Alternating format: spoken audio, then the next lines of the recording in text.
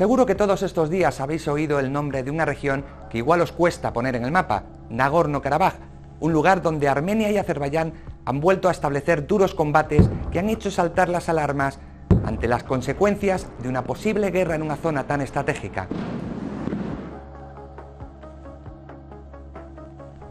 Es una pequeña región fronteriza entre Armenia y Azerbaiyán de apenas 150.000 habitantes. Aunque la mayoría de los que viven allí son de etnia armenia y religión cristiana, se considera que forma parte de Azerbaiyán, un país de religión musulmana y etnia turcomana. Ambos países, Armenia y Azerbaiyán, llevan disputándose la región desde hace 30 años, especialmente desde que Nagorno-Karabaj se autoproclamó independiente. De hecho, hoy todavía funciona como tal. Tiene su propio gobierno, tiene su propio ejército y su propia administración, y se autodenomina República de Artsaj. Solo Armenia apoya esta región. Para la comunidad internacional, Nagorno-Karabaj forma parte de Azerbaiyán, aunque en realidad Azerbaiyán no la controla.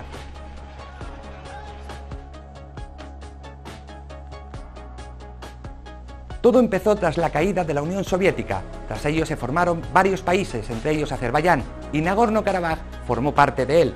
Pero sus habitantes no estaban de acuerdo, hicieron un referéndum y exigieron separarse y formar parte de Armenia. Armenia les apoyó y eso provocó una guerra con Azerbaiyán que duró seis años y causó al menos 30.000 muertos. La guerra terminó en 1994 con la firma de un alto el fuego que nunca se tradujo en un acuerdo de paz duradera.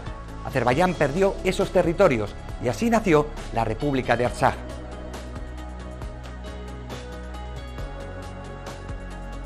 Armenia dice que ha sido Azerbaiyán quien ha empezado y que ellos solo se han defendido, y Azerbaiyán que ha sido Armenia y que no va a detener los combates hasta que Armenia le devuelva todos los territorios que conquistó durante la guerra, y eso incluye Nagorno-Karabaj.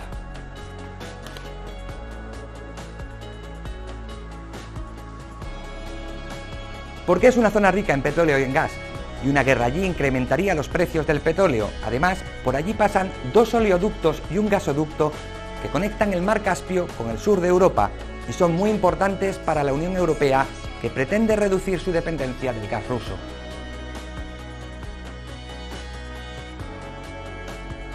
Son fundamentalmente dos, Turquía y Rusia.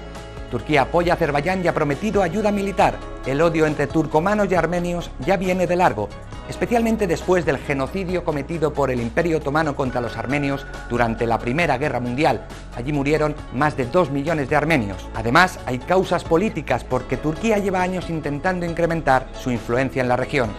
Por su lado, Armenia cuenta con el apoyo de Rusia. Moscú no quiere abandonar totalmente una región que en el pasado controló y que, como hemos visto, es rica en recursos naturales.